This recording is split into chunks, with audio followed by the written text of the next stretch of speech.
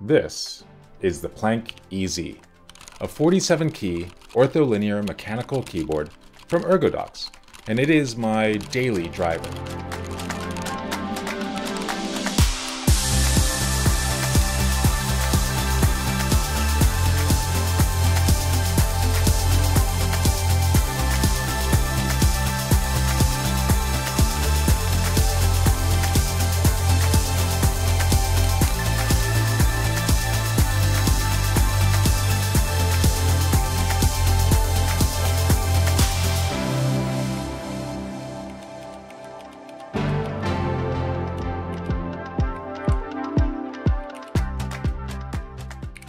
For most people, a keyboard is a commodity. Pretty much any keyboard will do, and the one that came with your computer is often good enough. But I'm not one of these people. I love this Planck EZ keyboard in a way that I never believed I could love a data entry device. At first glance, it might not even look like it's big enough. It's missing the whole row of numbers, not to mention the F keys, but I think it's perfect. And recently, Ergodox added a super cool feature that makes it even better. A feature that helps me discover all that it can do after I've customized it just for me. I'm Matt Williams, and I'm the Technovangelist. Every couple of weeks, I release another video talking about the tools I use to help me get my job done. Sometimes it's a gadget, sometimes a device, and well, sometimes something else. I'm thinking of adding something to my process to help keep me, uh, regular with getting these videos out. I wanted to give you a chance to see where I'm going with my videos before I record them. It would take the form of a simple, somewhat regular newsletter. I'll tell you what I'm thinking of for some of the upcoming videos, and you can tell me if that'll be interesting for you and if you have any questions about it. You'll also get to see my research and maybe the backstory to the videos. And I'll include some of your questions in the video when I actually press record.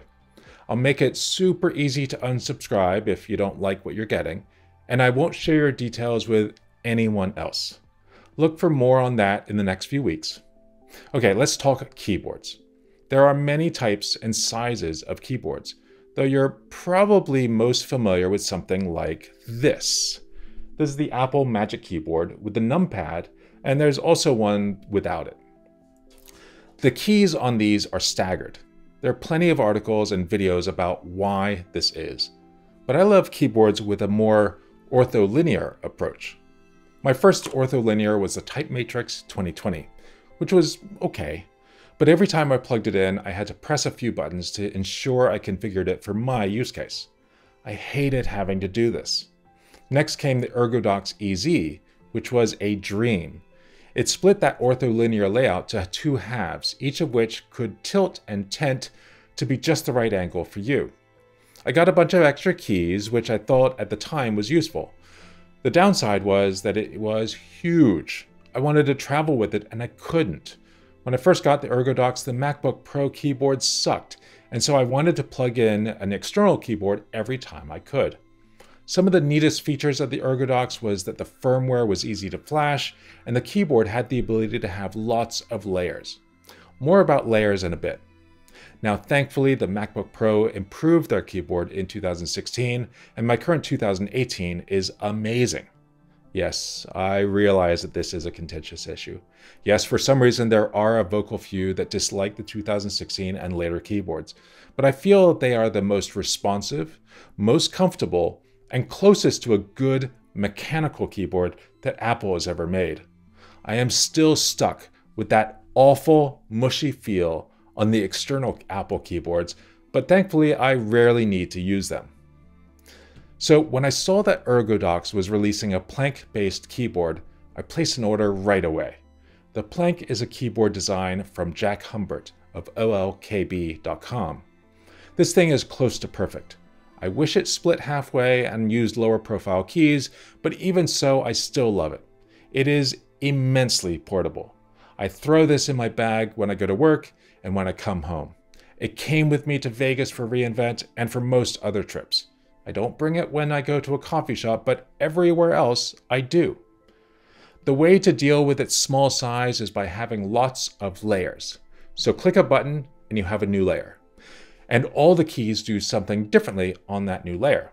Now, if you think this is weird, every keyboard ever made has this. Okay, well, maybe some of the very first typewriters didn't, but everything in the last hundred years has. When you press and hold the Shift key, you get a whole new set of characters that show up. On a Mac, and I think on Windows too, you have a few more layers, though few people actually use them. In case you don't understand what I'm talking about, open up an editor, hold the Option or Alt key down, and start typing. Now, with the Option key still held down, hold Shift as well and start typing. You'll notice that you get a lot of different extra symbols. Beside those, I have another two or three layers on my Planck EZ that I use all the time. Oh, and to make things more complicated, I don't use the standard QWERTY layout. I use Workman. Okay, actually, I use an alternate called Workman Dead, and I changed it a bit to make it even more special just for me. I won't go into a lot of detail about that in this video, but here you can see an image of a QWERTY layout and then the Workman layout. And if you hit the key to go to the secondary layer, then this is that dead key layout. These are the layout images generated by the firmware tool, so you can see what it looks like on my keyboard. And looking at those images, you might notice that there is no shift key where you might expect it. There is one at the bottom right corner, but it's awkward to hit. I put it there because sometimes I just need it, but most of the time I don't bother. So how do I do capitals and punctuation? Well, I turned on a feature in the built into the keyboard called Auto Shift. It does what you might imagine, hitting Shift when needed. The way it does this is if I hold a key for a certain amount of time, it presses the shifted version. For my configuration, that's 230 milliseconds. That's not a lot of time, but it's just enough and it works for me.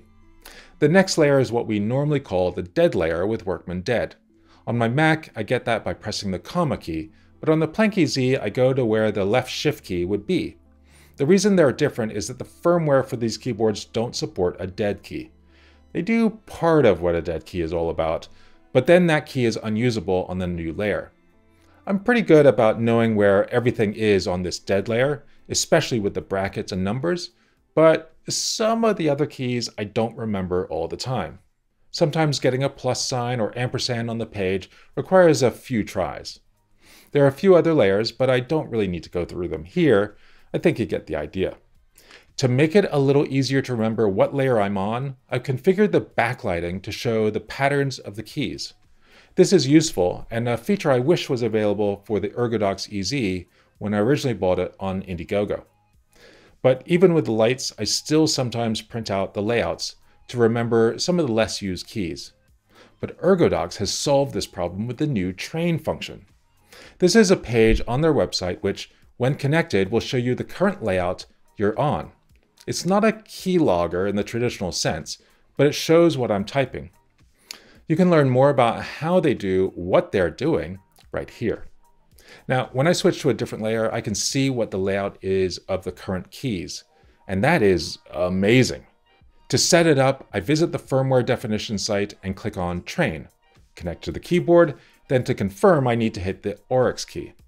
Now, I don't remember seeing the Oryx key before, so I needed to go set it up. I went into the firmware and added a key for that on one of my layers. To get to my Oryx key, I hit the bottom left key to switch layers, and then the top right key to switch to a different layer. Now this other layer is a special layer on my keyboard with only two keys defined. One is the reset button that you use when you want to flash the keyboard firmware, and the other is the Oryx key. Now the site and the keyboard are connected, and I can see how everything is set up. There is so much more to this keyboard that is exciting, but the new train feature opens more possibilities than anything else. I can create additional layers and have the tools in place to help me build that muscle memory. I love it, and I thought you might be interested too. You can find out more about the ErgoDox here, and I've included a link to the layout I use in the description below. If you find videos like this interesting, consider subscribing to the channel. And be sure to hit that bell icon to be notified every time I post a new video. I post new videos every eh, now and then, and subscribing is the best way to find new ones as they come out. Thanks so much for watching. Goodbye.